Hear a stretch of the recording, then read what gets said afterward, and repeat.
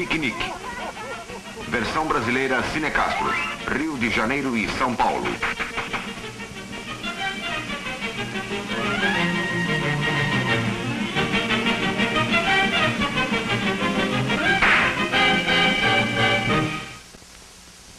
E agora preparem-se para o próximo desenho. Vocês vão adorar.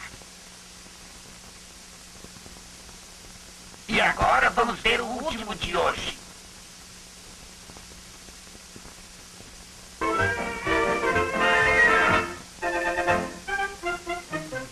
Vamos à ópera.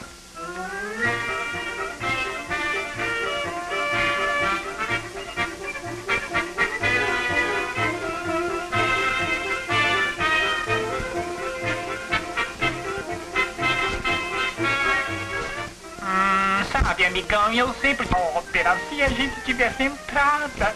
Entradas? A gente não precisa de entradas. Venha comigo.